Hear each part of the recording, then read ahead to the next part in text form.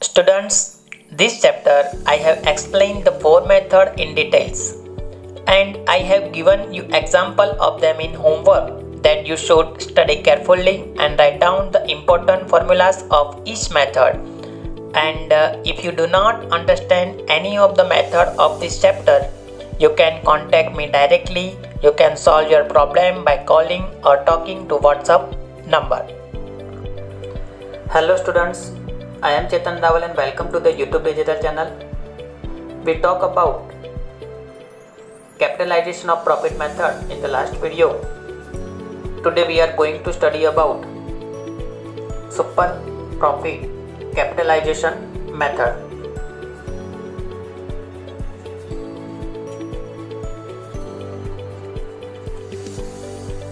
The last points of this chapter. Super profit can be capitalized directly and can determine the value of goodwill. It is not required to capitalize the average profit under this method. Let me explain to you again. Understand carefully. Super profit can be capitalized directly and can be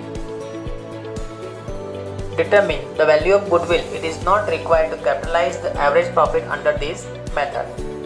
Following computation should be done to determine value of goodwill. And uh, statement of showing computation of goodwill, column number 1 step number, particular and amount. And friends, this step is important to remember in order to be a, an example. Point number 1 Capital employed means total assets minus total liability. Point number 2 expected rate of return. Point number 3 expected profit means capital employed into expected rate of return. Step number 4 average profit. Step number 5 super profit means average profit minus expected profit. And step number 6 goodwill means super profit upon expected rate of return into hundred यहाँ पे मैं आपको बताऊँगा कि step number six है वही आपको याद रखना है, क्योंकि step number one two three and four five ये सुपर प्रॉफिट मेथड में ऑलरेडी आपने लर्न किए हुए हैं तो स्टेप नंबर सिक्स ही आपको यहाँ पे ध्यान रखना है। And not if super profit is zero और negative then it is no goodwill exist in the business let us now understand by example In textbook's last question, question number 11. Determine the value of goodwill of Prabha and Prabhu's firms on the basis of capitalized super profit. Capitalized super profit method. Capital employed 9 lakh. Expected rate of return 12%. Last 5 years profit. Year end profit 2012 13 1 lakh. 2013 14 1 lakh 40,000. Increasing trade 2014-15 1 lakh 30,000 decreasing trade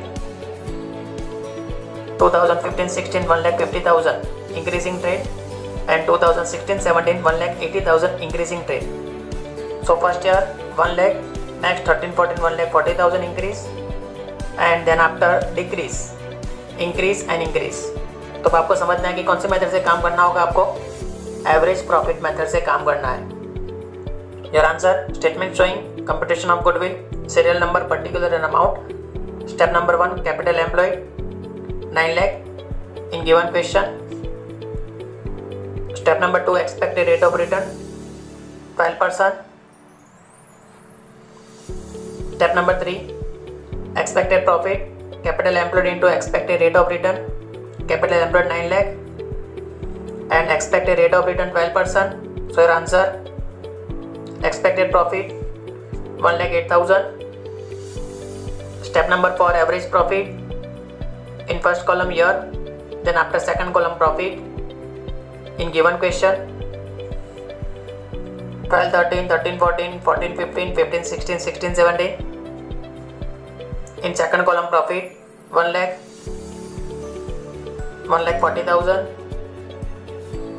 one lakh thirty thousand one lakh fifty thousand one lakh eighty thousand total profit seven lakh average profit formula total profit seven lakh number of years one two three four five